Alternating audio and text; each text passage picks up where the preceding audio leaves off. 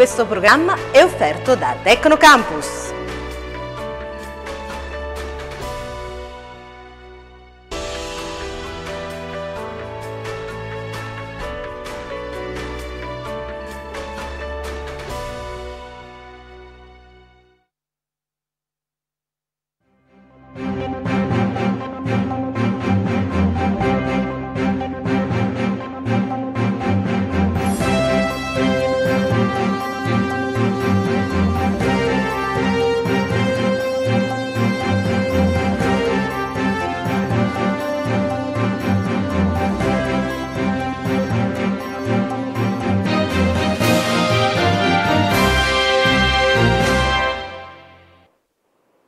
Sabato 9 marzo, buongiorno da Teleprima, benvenuti anche oggi a questa rassegna stampa, come sempre offerta da Tecno Campus e vediamo quali sono i fatti in primo piano partendo dal primo punto all'ordine del giorno che è quella della lite fra Movimento 5 Stelle e Salvini sempre sul medesimo obiettivo, ossia la TAV.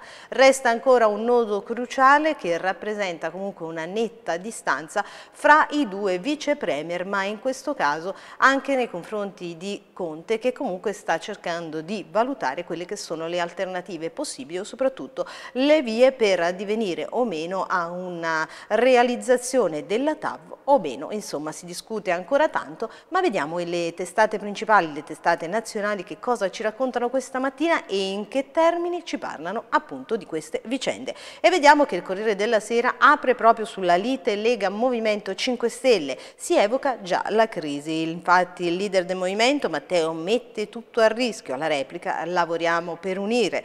L'allarme di Buffagni 5 Stelle, Di Maio accusa Salvini che però smorza i toni. Lega 5 Stelle infatti sempre più divisi, la lite sulla tavola lontana Lega e Movimento 5 Stelle, il vice premier Luigi Di Maio torna ad accusare il leader leghista, non si può mettere a rischio il governo per un punto che è nel contratto di governo. Sarebbe un paradosso e da irresponsabili. Intanto Matteo Salvini prova ad attenuare i toni dello scontro e replica nessuna crisi di governo e nessuna nostalgia del passato. Lavoriamo per unire e per dare lavoro, sviluppo e futuro all'Italia. Col buon senso si risolve tutto, ma il pentastellato Stefano Buffagni vede avvicinarsi il divorzio, anche se comunque questa sua dichiarazione su un possibile divorzio tra Movimento 5 Stelle e Salvini è stata messa a tacere in quanto ovviamente il governo non è ancora in discussione. Vediamo quali sono gli altri fatti, nell'editoriale vediamo che viene rappresentato rappresentato proprio così come una bussola perduta, una sequenza incessante di botti sulle questioni più varie. Questa è l'immagine che da mesi caratterizza la politica italiana. L'attenzione del governo e dunque dei media rimbalza da un problema a un altro, la TAV, un vincolo dell'Unione Europea da rispettare, un'autorizzazione da votare, l'arrivo di migranti, un ponte da ricostruire e così via.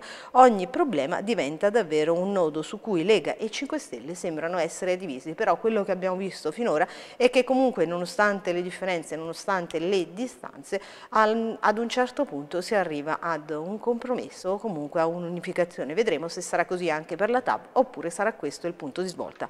E ancora nella parte centrale della pagina, ricordiamo che ieri è stato l'8 marzo la celebrazione internazionale della donna, il racconto del, di un'ex prostituta il monito del capo dello Stato. E questa è la storia di Stefania che commuove Mattarella, infatti due testimonianze, parliamo di Stefania e Op, straniere, che si sono riprese la vita dopo lo sfruttamento sfruttamento della prostituzione. Mattarella le ha volute protagoniste delle celebrazioni dell'8 marzo segnate da un richiamo a non tornare indietro sui diritti. Insomma, anche in questi giorni si è tanto parlato della riapertura delle case chiuse e si parla fortemente della prostituzione che per molti ormai sembra divenuta una cosa talmente normale che quasi eh, viene individuata nelle donne una scelta, cosa che non sempre è così perché nella stragrande maggioranza dei casi la prostituzione non è una scelta ma assolutamente qualcosa di imposto a cui difficilmente si riesce a sottrarsi e proprio l'esempio di queste due donne rappresenta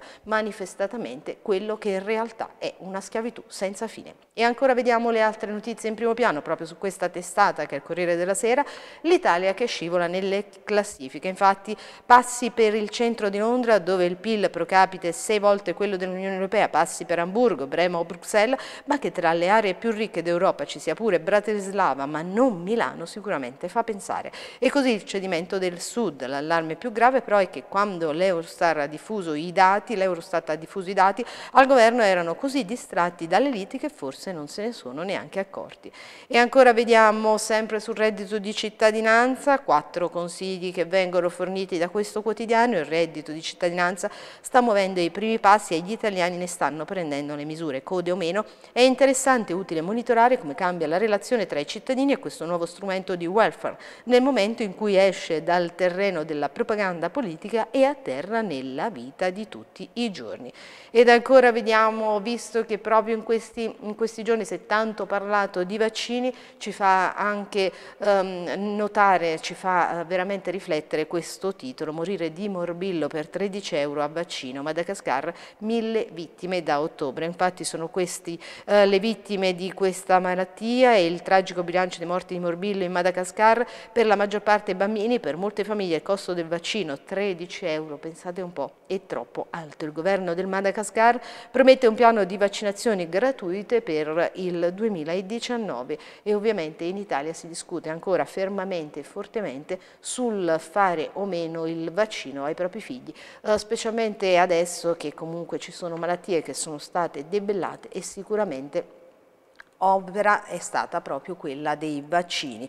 Uh, non, non, tutto ovviamente è sempre così lineare, però la realtà è che comunque tante malattie sono state sconfitte. Ancora vediamo le altre notizie in primo piano, il fatto quotidiano fine dei domiciliari per i genitori di Renzi nella parte alta della pagina, ma le accuse e la misura cautelare restano, otto mesi di interdizione imprenditoriale per non indurli in tentazione. E anche sul fatto quotidiano vediamo che l'apertura è su TAV, ecco la banda del buco, aziende fallite e tangentari.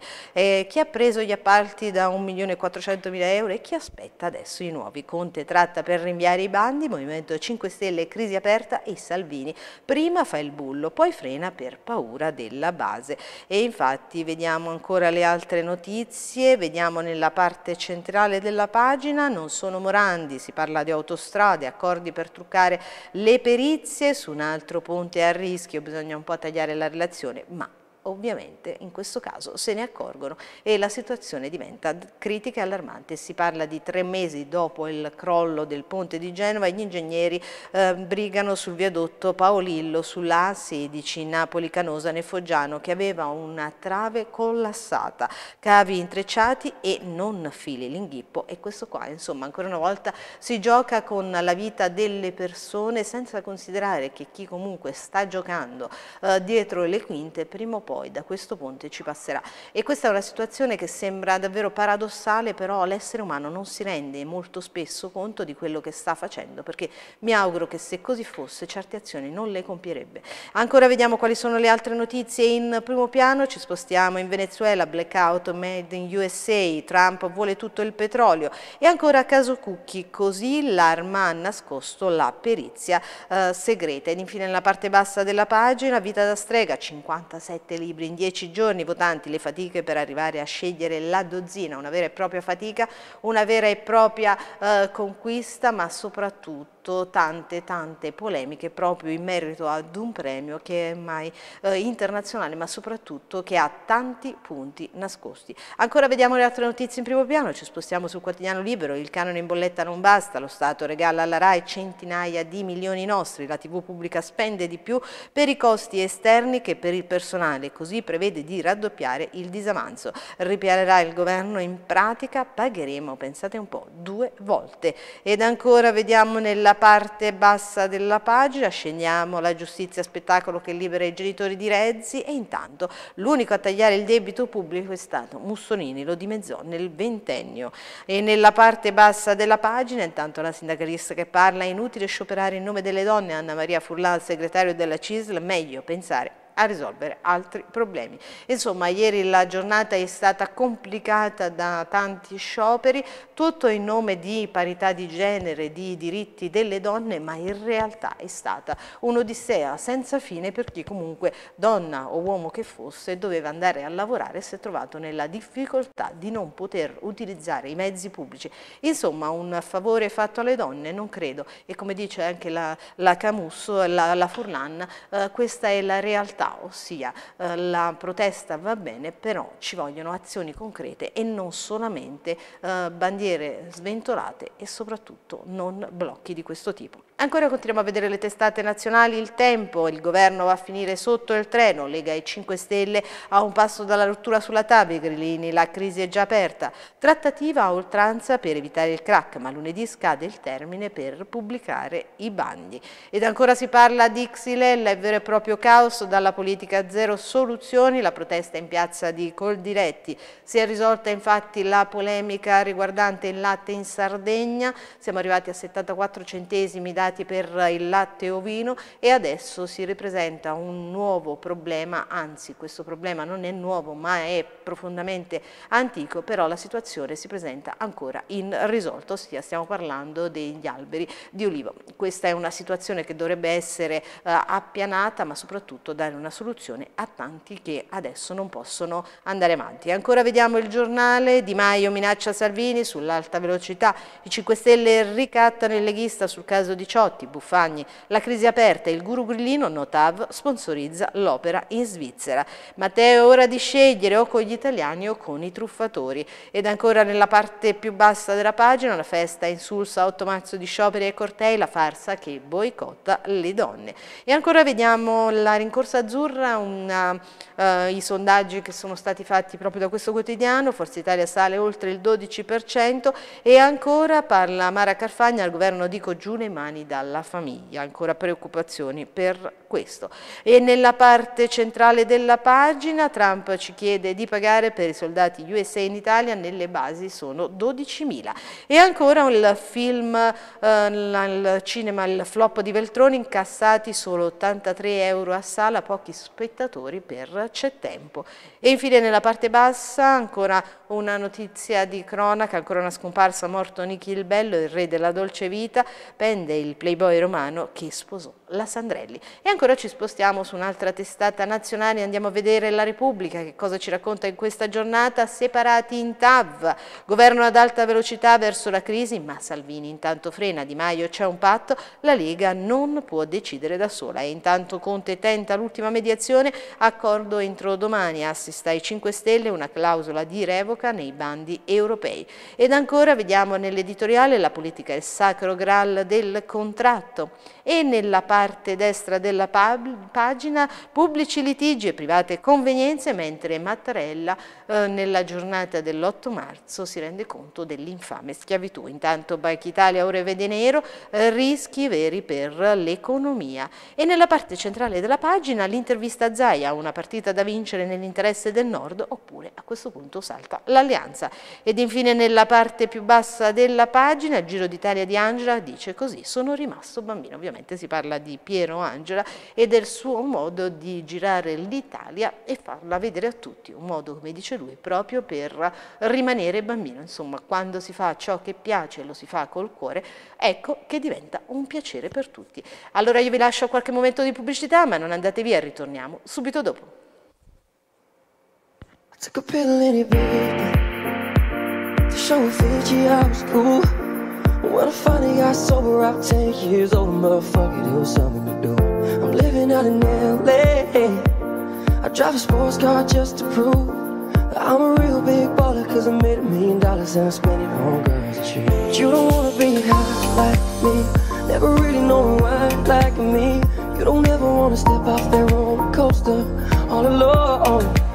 And you don't wanna ride the bus like this, never knowing who to trust like this. You don't wanna be stuck up on the stage singing Stuck up on the stage singing oh, I know Sad songs Sad songs Oh,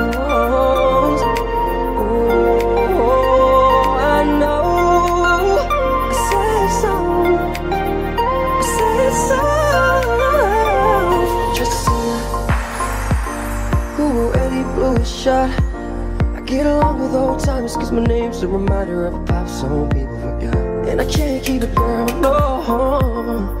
Cause as soon as the sun comes up I cut them all loose and works my excuse. But the truth is I can't open up. You don't wanna be high like me. Never really All'incrocio tra Caserta e il futuro è nato Tecnocampus, un centro direzionale moderno, frutto di un ambizioso progetto di riqualificazione industriale che ha messo la qualità del lavoro al primo posto. Tecnocampus, il nuovo centro direzionale di Caserta è collegato direttamente all'A30 Caserta Salerno e dista pochi minuti dal centro di Caserta. Tecnocampus SRL, Viale Lincoln, zona industriale, ex Sangoben Caserta. Tecnocampus, la soluzione al centro.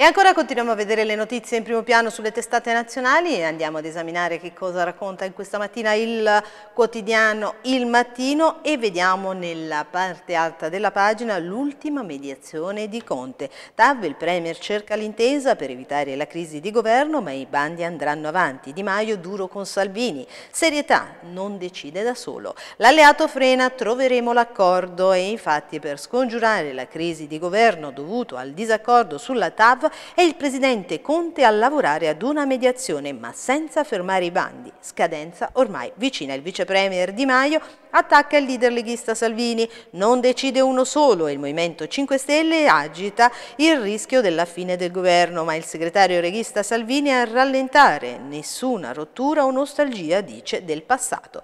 Ed ancora si parla di autonomia, il patto a Napoli, le regioni del sud unite contro quello che è lo spacca Italia. Infatti c'è e non c'è. Il fronte comune delle regioni del sud stenta ma il dialogo è ormai avviato sotto la pressione del regionalismo differenziato. Siamo a un passo dal disastro nazionale, a dirlo è il governatore della regione Campania Vincenzo De Luca. E ancora vediamo qual è lo scenario per quanto riguarda sempre eh, la politica, quello che divide ma nel contempo unisce il PD e il Movimento 5 Stelle. A quanto pare c'è qualcosa che li rende molto molto ah, vicini. E ancora vediamo l'analisi che viene fatta di questo rapporto intricato del governo, quel filo rosso sempre più sottile tra Matteo e Luigi, un cuore rosso, Di Maio teneramente sulle punte, Salvini con le mani intorno al collo che lo bacia fraterno, il murale scomparso in via del collegio Capranica lo scorso luglio è stato in seguito rimosso, ma il governo no, quello anzi veleggiava sull'onda di tutti, largo consenso dopo che Lega e Movimento 5 Stelle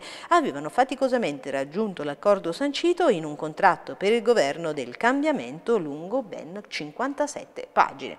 E ancora vediamo l'8 marzo diverso, la schiava del sesso che ha commosso Mattarella e tutti noi. E nella parte centrale della pagina invece cambiamo proprio argomento, le mie notti a spiare Maradona tra hotel, donne e partite in strada. I segreti dell'investigatore Restino Mi incaricò Moggi. E ancora al CAF di Casa Pesenna vediamo che cosa accade, si parla di reddito di cittadinanza, chi è che si trova a fare proprio la fila la vivandiera di Zagaria proprio in coda. Sotto la sua villetta c'era il bunker del superboss condannata con il marito ha scontato quattro anni. Dopo andremo a esaminare questa notizia. Ancora manovra gli effetti, pensioni da aprile, scatta il taglio sulle rivalutazioni. Ed infine nella parte bassa della pagina continuano le aggressioni. Io medico del 118 a Napoli tra botte e insulti, adesso ho paura. È questo che viene raccontato da questo medico che è la vittima numero 16 nel 2000 2019, vittima di questa eh, sanità sia della sanità che dell'atteggiamento delle persone che comunque non riescono a subentrare in una situazione di calma proprio quando si tratta della salute. Insomma ci sono tanti problemi che dovrebbero rendere tutto assolutamente più semplice ma in realtà accavallano una situazione con l'altra, riducono il personale e questo crea ostilità proprio tra pazienti e medici e i medici del 118 adesso hanno sempre più paura. Ma continuiamo a vedere le altre notizie in primo piano, ci spostiamo sulla stampa, anche qui TAV, il governo sbatte sul no europeo e la paura di una crisi al buio. Intanto Matteo e Luigi titola proprio così, piacersi è così inutile. E nella parte centrale della pagina una notizia di cronaca, un allarme senza fine, morti, pensate, da inquinamento, il triste record della pianura padana. Eccola qua, infatti vediamo un'immagine evocativa che rappresenta proprio la situazione di questo inquinamento che distrugge qualsiasi cosa. E vediamo infatti che nel Veneto che soffre un capannone su 10 è anche abbandonato. E ancora continuiamo a vedere le altre notizie in primo piano, ci spostiamo adesso ancora sul manifesto e vediamo la tempesta femminista. L'8 marzo, non una di meno, riempie 40 piazze d'Italia. E nella parte centrale della pagina, eccoci qua sempre un titolo suggestivo, il Vaffa Day, si guardano, eh, ovviamente non si guardano ma guardano in direzioni opposte, almeno secondo questo ritratto che ne fa il manifesto. I ministri leghisti non firmeranno mai il blocco dei cantieri, la TAB si farà, Salvini sprezzante, alza il tiro e provoca l'alleato 5 Stelle. Ora nessun vertice, ci vediamo lunedì. Di Maio replica e attacca. Sono interdetto, la Lega tradisce il contratto e affossa il governo. Conte cerca una via d'uscita, intanto annuncia a breve saprete la mia determinazione. Ed intanto vediamo nella parte bassa della pagina maschere della crisi, una generazione che non si arrende al menefrego e dal Medio, Oriente la guerra infinita della Siria nei buchi neri. Ancora continuiamo a sfogliare le prime pagine dei quotidiani, adesso ci spostiamo eh, su un quotidiano economico che è il Sole 24 ore ed andiamo a vedere che manifesta, in che modo manifesta la situazione dell'Italia in questa sua prima pagina. L'industria rimbalza dell'1,7% a gennaio dopo quattro mesi in calo. Segne, segnali opposti, intanto l'analisi che viene fatta nella stanza buia di Draghi. E intanto vediamo anche qui grandi opere Salvini sulla tavola, nessuna crisi, ma il Movimento 5 Stelle lo attacca ed intanto c'è un presupposto per il commercio e stiamo parlando della via della seta. Conte annuncia un accordo quadro con la Cina. E intanto a febbraio negli USA frena la creazione di nuovi posti di lavoro. E intanto vediamo in una fotonotizia Mailbox cerca soci, fondi adesso in Lizza.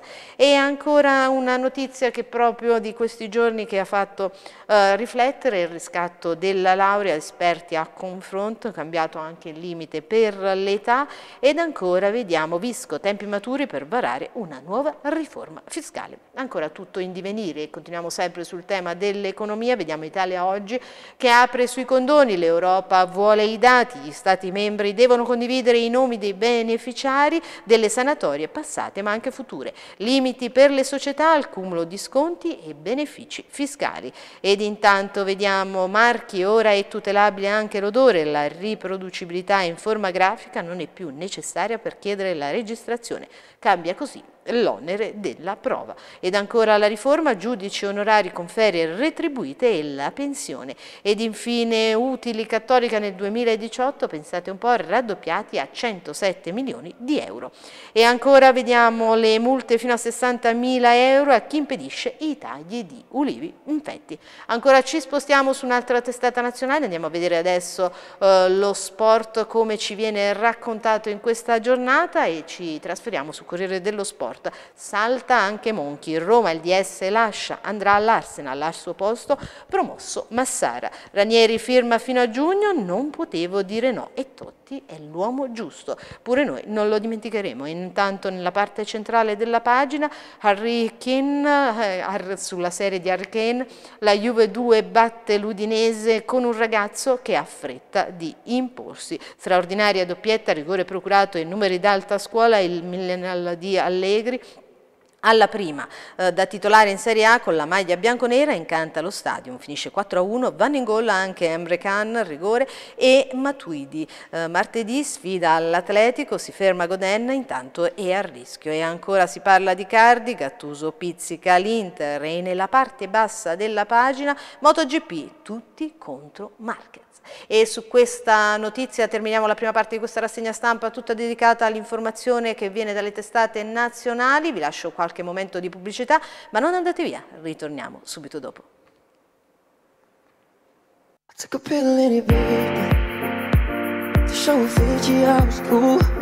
When I finally got sober, out 10 years old, motherfucker, there was something to do.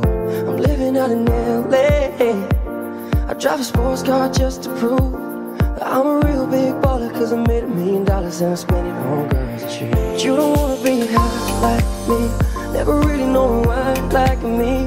You don't ever wanna step off that roller coaster. All alone. You don't wanna ride the bus like this. Never knowing who to trust like this. You don't wanna be stuck up on that stage eh? singing Stuck up on that stage eh? singing yeah, I know. I said your I said it's all.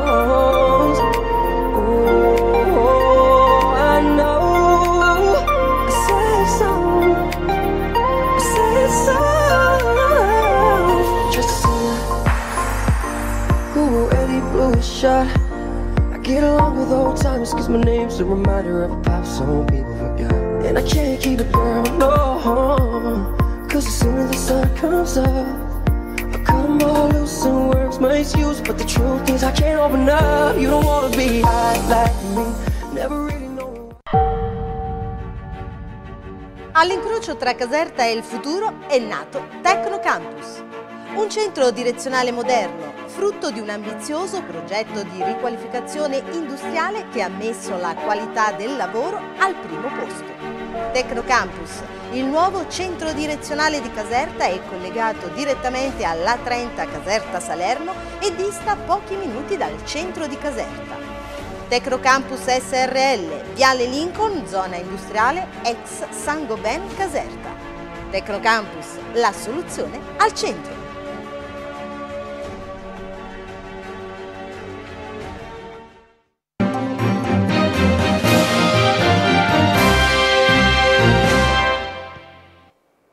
Ed eccoci di nuovo in studio, pronti per affrontare le tematiche che arrivano direttamente dalla regione Campania. Partiamo dalla cronaca di Napoli, racket alle pizzerie di via Tribunali, scattati quattro arresti e infatti i carabinieri del comando provinciale di Napoli hanno eseguito un decreto di fermo emesso dalla direzione distrettuale antimafia nei confronti di quattro persone ritenute affiliate al clan camorristico dei Sibillo attivo nel centro storico di Napoli. Nei loro confronti sono emersi gravi indizi di colpevolezza in merito all'estorsione aggravata dal metodo mafioso alla nota pizzeria di via dei tribunali di Matteo, recentemente bersaglio di colpi d'arma da fuoco. Gli esercenti da due anni erano costretti infatti a versare settimanalmente il pizzo a esponenti del clan Sibillo. La richiesta estorsiva che aumentava in occasione delle principali festività era funzionale oltre che ad imporre la supremazia nel clan sul territorio a sostenere i detenuti affiliati al clan e le loro famiglie. E ancora continuiamo sul tema della cronaca, eh, vediamo Giuliano Volpe che dice no al quadro di Caravaggio, un danno a Napoli ed anche alla cultura. Sette opere di misericordia del Caravaggio, lo vediamo proprio ritratto in questa immagine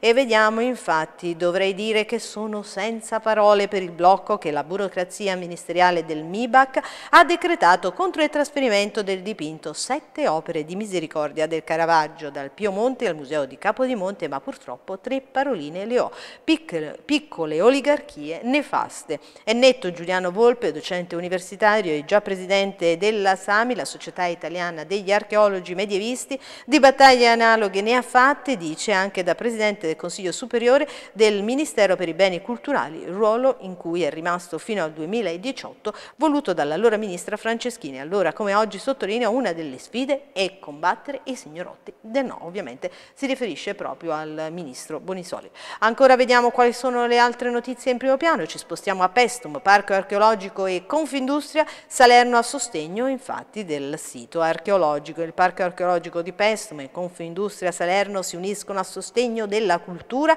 e della storia del sito archeologico. Ma vediamo come infatti nel pomeriggio di ieri si è tenuto un incontro nella sede di Confindustria Salerno al quale hanno partecipato tra gli altri il presidente di Confindustria Boccia, il presidente di Confindustria Salerno Andrea Prete e il direttore del parco Gabriel Zutriekel. Alfonso Andria, consigliere di amministrazione del sito di Pestume. Durante la serata sono state premiate le aziende che finora hanno sostenuto il parco archeologico di Pestum e che fanno parte del Circolo Nettuno. Quando entrano in gioco armonia, equilibrio e bellezza, ha sottolineato il Presidente Boccia, entra in gioco, gioco l'Italia, la Campania, la nostra provincia è uno specchio del paese. Il collegamento tra territorio, comunità e imprese è determinante per attrarre turisti, clienti e costruire un'idea di paese che vive un paradosso. La percezione che abbiamo noi italiani del paese è peggiore di come il mondo ha in realtà di noi stessi. Sembra davvero un paradosso, ma questa purtroppo è una realtà. Noi ci piangiamo addosso, mentre fuori all'esterno dell'Italia vedono delle meraviglie che spesso noi trascuriamo. E ancora vediamo quali sono le altre notizie in primo piano. La vivandiera del boss Zagaria in coda per il reddito di cittadinanza.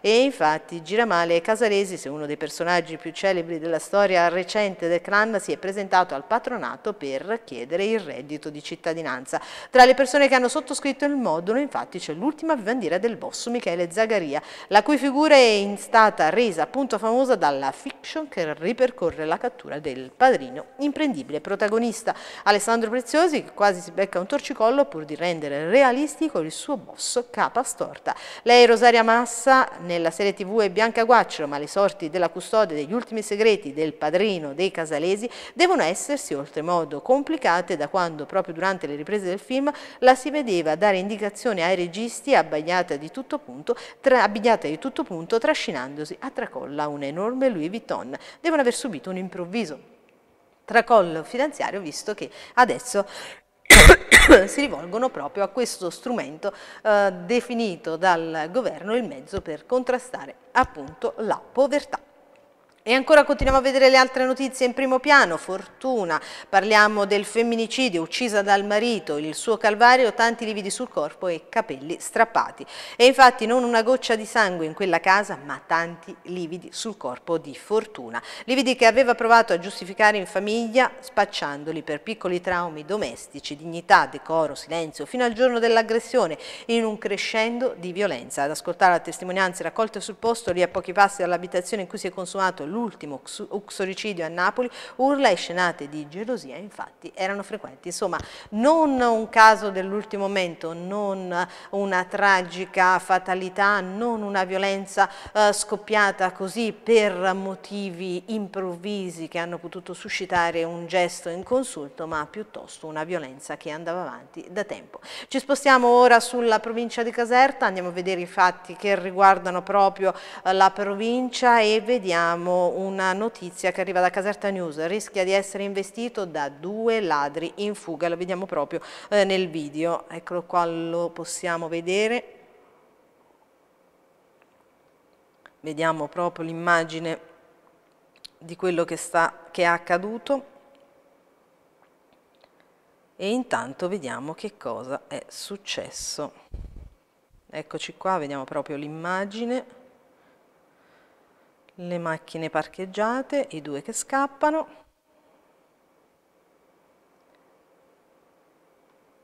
E questo è il tentativo di fermarli.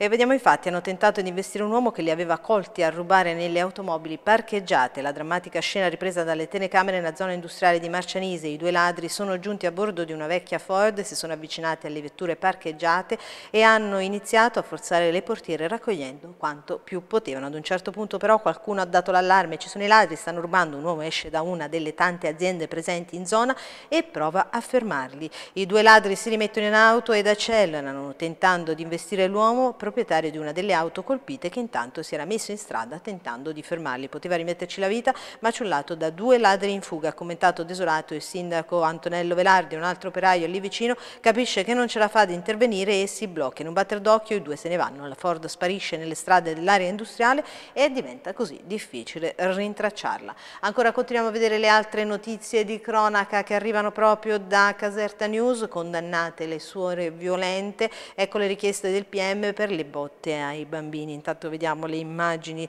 ritratte dalle camere di videosorveglianza. Quattro condanne sono state richieste dal pubblico ministero Francesco Persico della Procura di Napoli Nord nei confronti delle suore che gestivano la scuola paritaria Santa Teresa del Bambino Gesù di San Marcellino. Il magistrato ha chiesto quattro anni di pena per la madre superiora, 76, di, 76 anni di Aquilonia e tre anni a testa per le altre tre suore di origine indiana e filippina. Il GIP del Tribunale di Napoli Nord Paone ha disposto il rinvio rinvio ad aprile per la discussione delle parti civili e del difensore. La vicenda scoppiata a giugno dello scorso anno dopo l'operazione dei carabinieri ha creato un grande scalpore a San Marcellino visto che la scuola paritaria affidata alle educatrici cattoliche era molto conosciuta. Ad incastrarle ci sono numerosi video in cui si vedono chiaramente le aggressioni ai bambini durante l'orario scolastico in un'occasione addirittura un bambino è finito a terra accanto alla scrivania della suora dopo essere stato colpito. Le indagini sono scaturite dalle denunce presentate ai carabinieri San Marcellino da parte dei genitori di cinque bambini che all'interno delle mura domestiche avevano manifestato disagio e cambiamenti di umore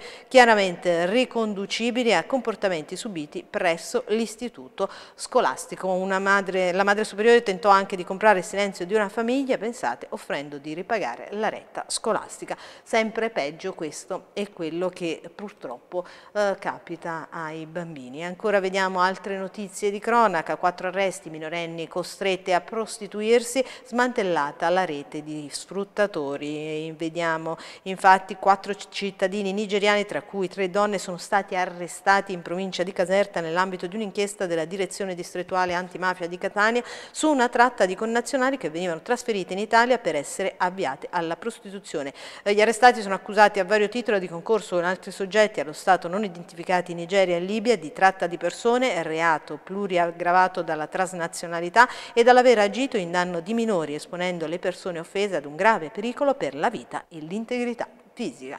Ancora continuiamo a vedere le notizie in primo piano, ci spostiamo a Caserta prima pagina e vediamo ancora una brutta notizia di cronaca, stamattina veramente sono tante, ragazzino picchiato e scaramentato nella fontana della villa comunale, vediamo la gente affollata proprio in questa uh, vicenda dell'incredibile l'episodio di violenza e di bullismo avvenuto nella serata del cuore uh, di Santa Maria Capovetere. All'interno della villa comunale, cinque persone hanno infatti malmenato un ragazzino che ha tentato di di resistere all'assalto per finire poi per essere scaraventato nella fontana della villa comunale, un episodio di violenza che rilancia l'emergenza criminalità nella città del Foro, soprattutto quella rivolta contro ragazzi minorenni. Resta ancora da capire cosa abbia spinto i cinque ragazzi ad agire con una tale violenza contro la vittima dell'aggressione. Ecco, questo è il punto principale, riuscire a capire che cosa spinge i ragazzi ad agire violentemente contro propri simili, ossia ragazzi e cosa fa scattare in questi eh, ragazzi la incapacità di sapersi gestire. Questo è l'interrogativo che ci poniamo in questo sabato, in questo fine settimana e che giriamo anche a voi affinché qualcosa possa cambiare, soprattutto intervenendo e aiutando chi si trova in situazioni così difficili e disagiate. Per quanto riguarda la rassegna stampa di oggi eh, terminiamo qui, ringraziamo come sempre Tecnocampus che come ogni mattina ci consente di stare con voi per fornirvi un'informazione in tempo reale. E soprattutto un grazie a voi che siete stati qui presenti e soprattutto l'augurio di uno splendido weekend weekend. Salve a tutti e buona giornata.